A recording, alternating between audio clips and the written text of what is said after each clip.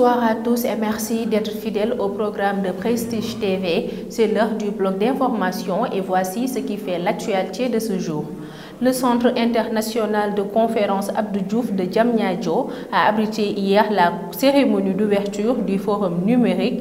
Le président Sall, qui a présidé la rencontre, a lancé une alerte aux populations sur la recrudescence des cas communautaires du coronavirus. Le président du mouvement Action a accompagné les femmes du mouvement ATIES par la mise à disposition d'un financement de 3 millions de francs CFA.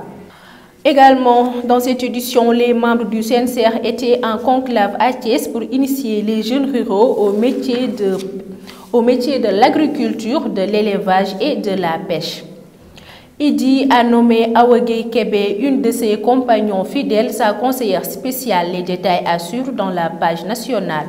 Et pour ce qui fait l'actualité hors de chez nous, présidentielle au Burkina Faso, réélu, le président Kaboré attend prôner l'apaisement. Le développement, c'est tout de suite.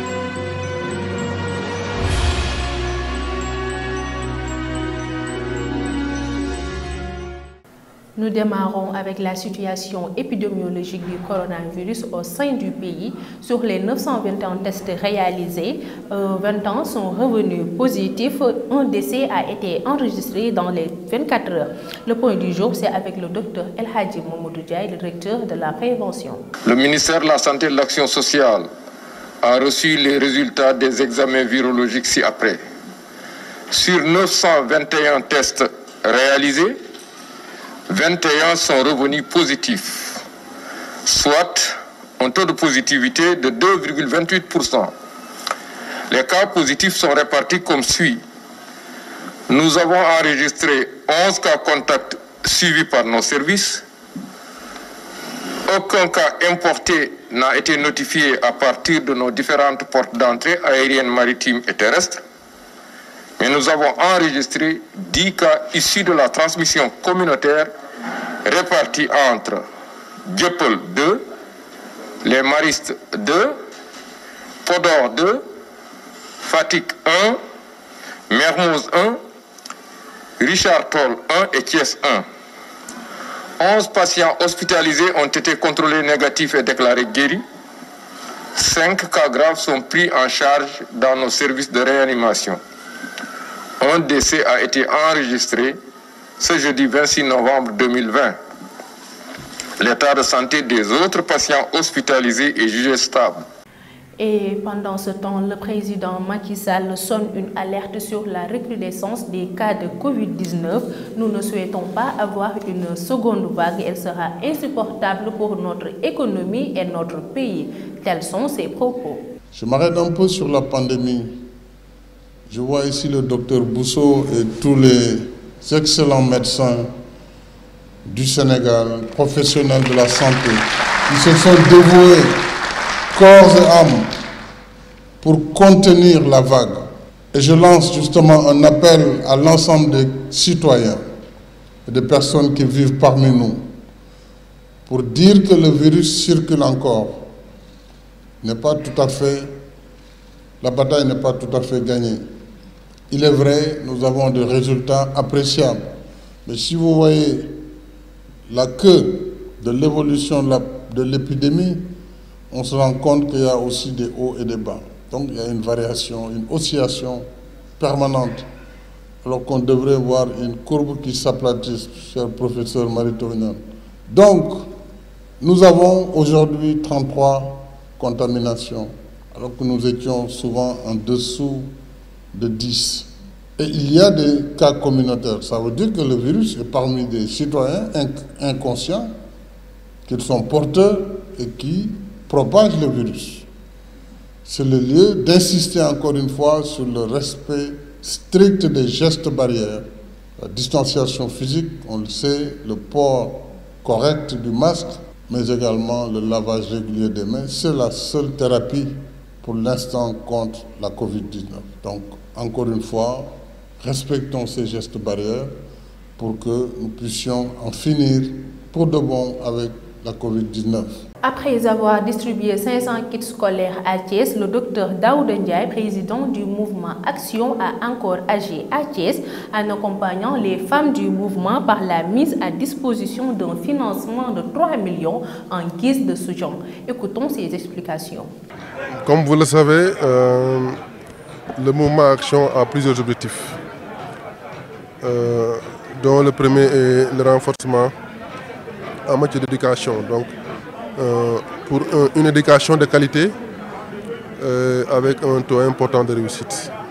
Le deuxième volet, c'est l'amélioration des conditions sanitaires et à la recherche de soins. Donc, une meilleure prise en charge des personnes vivant avec des maladies.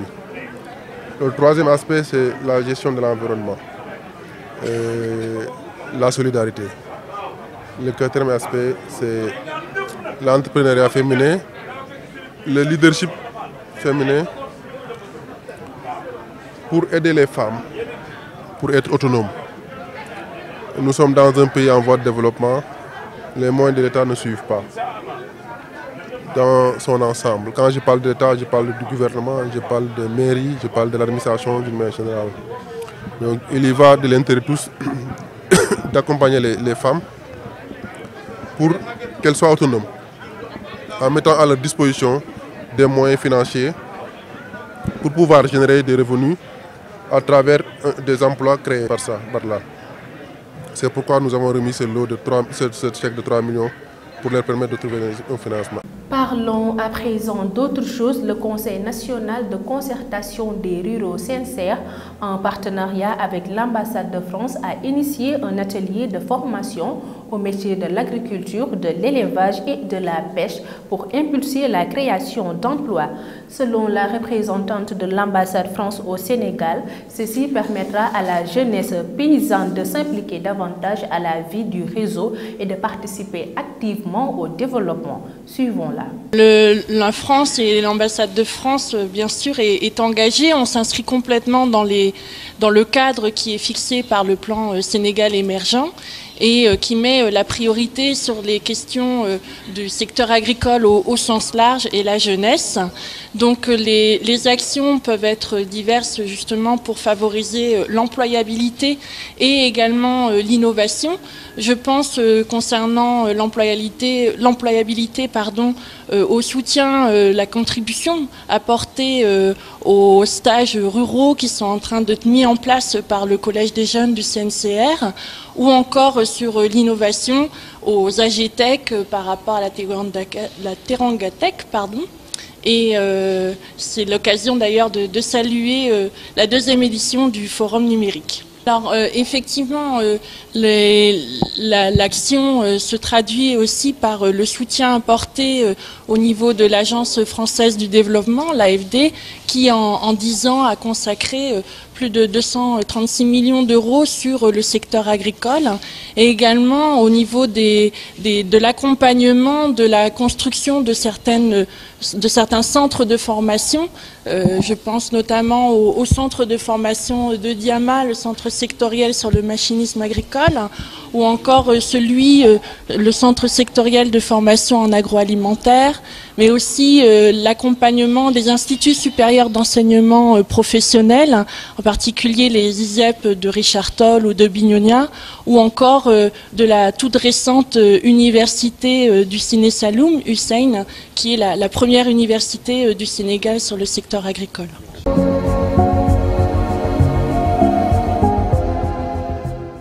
La page nationale de ce jour est dominée par la nomination de Awagay Kébé comme conseillère spéciale du président du Conseil économique, social et environnemental, Aminata Ndiaye. Démarrons l'actualité nationale avec un violent incendie qui s'est déclaré dans un parc ce jeudi aux environs de 20h à Castor sur la route de la Soudida en face du supermarché Auchan. Bilan ont blessé, plusieurs dégâts matériels et des animaux calcinés. Il a fallu 4 heures d'horloge aux soldats du feu pour maîtriser les flammes. Selon des témoins qui se sont confiés à RFM, l'incendie s'est aggravé à cause des lenteurs notées dans l'intervention des sapeurs-pompiers.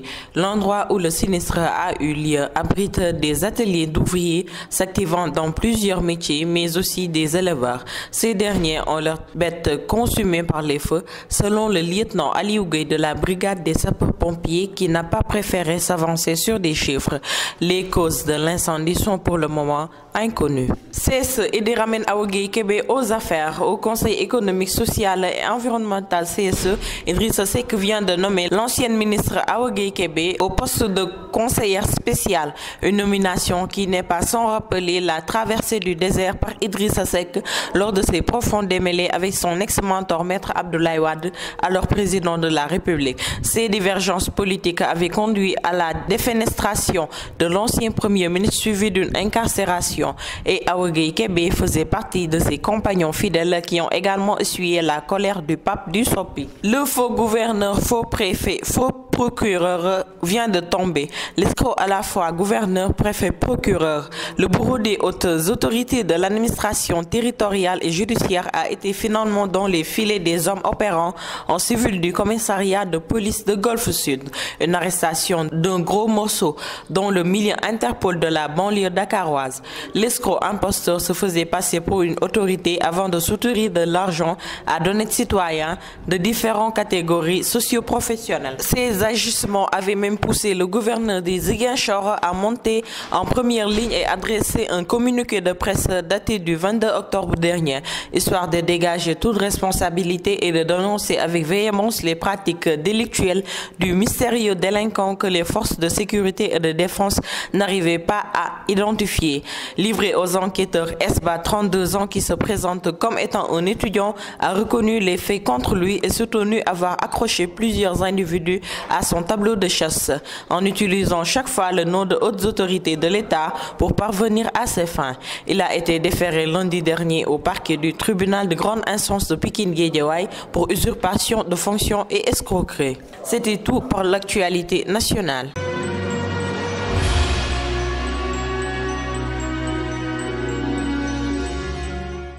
Et sur l'international présidentiel au Burkina Faso, le président Kaboré réélu pour un second mandat avec 57,87% des voix. Saturne John.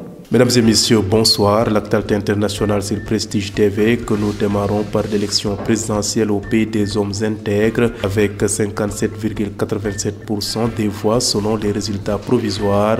Le président Roch Marc Christian Caporé s'est imposé dès le premier tour de la présidentielle. Il a réussi son fameux coup KO et repart pour un second mandat. Eddie Komboigo dit CDP, l'ancien parti au pouvoir, se place en deuxième position avec 15,48% des suffrages et Jeffirin Diabré, l'actuel chef de file de l'opposition, arrive que troisième avec un peu plus de 12% des voix. Dès l'annonce de sa victoire, le président Kaboré a promis une concertation permanente et qu'il serait le président de tous les Burkinabés sans exception. Un peu plus de deux mois après la signature des accords dits d'Abraham entre les Émirats arabes unis et Israël, un premier vol a relié ce jeudi 26 novembre Dubaï à Tel Aviv. La normalisation des relations signe la fin d'un tabou qui devrait profiter aux deux pays. Aux Émirats, la communauté juive peut désormais pratiquer sa foi au grand jour, de même que les touristes israéliens désirés de visiter les Émirats peuvent s'y rendre. Côté économie, les deux pays parient sur des échanges allant jusqu'à 4 milliards de dollars par an. Terminons ce rapide survol de l'actualité internationale en Cisjordanie où l'arrestation ces derniers jours d'un militant politique très critique de la politique gouvernementale a été dénoncée. Nizar Bana avait critiqué sur les réseaux sociaux la reprise de la coopération entre l'autorité palestinienne et Israël une attaque contre le gouvernement palestinien. Il a finalement été libéré ces derniers jours après des jugements en sa faveur et l'intervention de diplomates.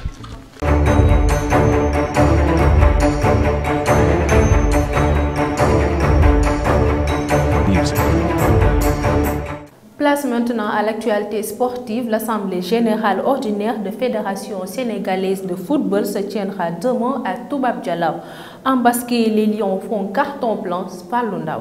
On démarre avec le tournoi qualificatif de la Cannes des U20 prévu en 2021 en Mauritanie. Le, les demi-finales se jouent aujourd'hui à Ladior en première heure. La belle équipe de la Guinée avec son carton plein, 9 points sur 3 matchs, rencontre la Gambie, 3 points en 2 matchs dans la poule A une affiche à suivre avec intérêt. La deuxième demi-finale Sénégal qui était au repos depuis cinq jours font rencontrer la tactique équipe de la Guinée-Bissau qui n'a que 48 heures de repos. Un match de coach pour cette demi-finale dans laquelle toute erreur se payera cash. Dans ces deux demi-finales, même si la Guinée et le Sénégal sont favoris, selon le contexte, la réalité du terrain peut être autre. Un match se gagne après le coup de sifflet final. Ligue des champions en Afrique, finale aujourd'hui 100% égyptienne. Al-Ahli affronte Zamalek d'Égypte. Al-Ahli est déjà huit fois champion de cette ligue, alors que Zamalek a remporté cinq fois le titre. Une finale entre deux géants d'Afrique du même pays. Al-Ahli est favori dans cette finale pour avoir battu son adversaire à cinq reprises en match de ligue le passé. Coupe CAF, premier tour, le Giraffe de Dakar reçoit demain samedi au stade La Dior de Thiès, Cano Pilar du Nigeria à 17h. Ligue des champions africaine à Bakau le dimanche, la Gambia AF reçoit le Tenguet FC à 16h. La Fédération sénégalaise de football va tenir son assemblée générale ordinaire demain à Toubab Dialaw. Pour préparer cette assemblée générale, la Ligue de Thiès s'est réunie au stade Ladior. Pour parler d'une seule voix, un mémorandum est préparé et sera présenté à l'assemblée générale de la Fédération. Un soutien au président Augustin Senghor pour sa candidature à la présidence de la CAF a été exprimé de vive voix et sera apporté sans faille au président de la Fédération sénégalaise de football. Ceci est ressorti de l'Assemblée générale préparatoire de la Ligue de football de Thiès. Basket pour terminer tournoi qualificatif de Kigali pour l'Afro-Basket 2021. Deuxième journée, le Sénégal qui bat Mozambique 60 à 53. En première heure, Angola a battu Kenya 83 à 66 au programme aujourd'hui pour le compte de la troisième et dernière journée de poule. Mozambique joue Kenya le match des mal classés avec chacune des deux équipes de défaites. En deuxième heure, le choc Sénégal, Angola, une finale de poule euh, sénégalais et angolais ont fait carton plein de victoires pour chacune des deux équipes. Merci Falunda pour toutes ces actualités des sports. Voilà, ceci me fond à ce bulletin d'information. Merci de l'avoir suivi. Merci également à toute l'équipe de la régie. Je vous souhaite de passer d'excellents moments au programme de Prestige TV.